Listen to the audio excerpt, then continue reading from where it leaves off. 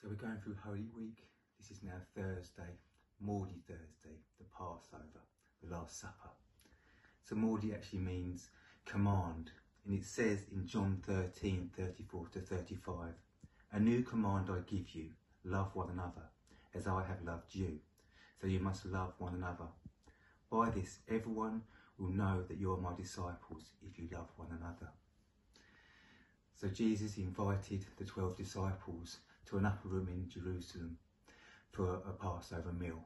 While they were having their meal, Jesus got down on his hands and knees and he washed the disciples' feet.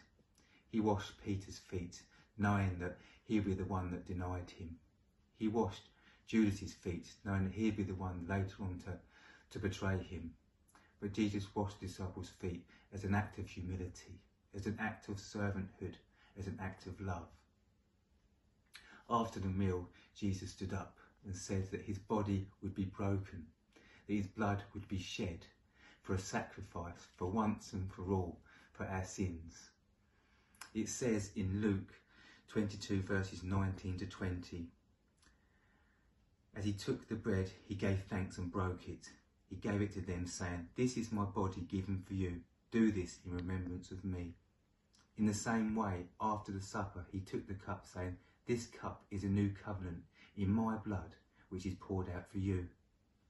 So this was the Last Supper, but this was actually the first communion. He says, do this in remembrance of me. There's such power in communion.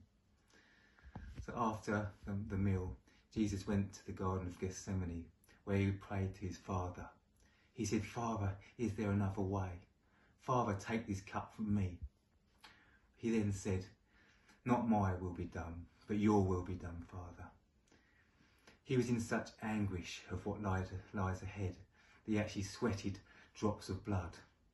Those drops of blood would then be that blood that would just um, see our sins be forgiven and reconcile us to God. How amazing is that? He then waited in the garden knowing that he'd be arrested. So will you take a moment now have a one-on-one with Jesus? Will you let him wash your feet? As we walk through this life, things get attached to us. The things we think, the things that might be spoken against us. Will you let Jesus wash them clean? Will you take a moment to reflect and to say sorry for the things that you've done wrong? To repent from your sins, the things we've thought, the things we've watched, the things that displease Jesus and God.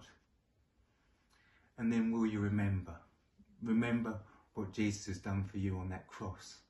That his body was broken for you, so you would be made whole. That his blood was shed for you, for the forgiveness of all your sins. Wow, isn't that amazing? Jesus died so you might live.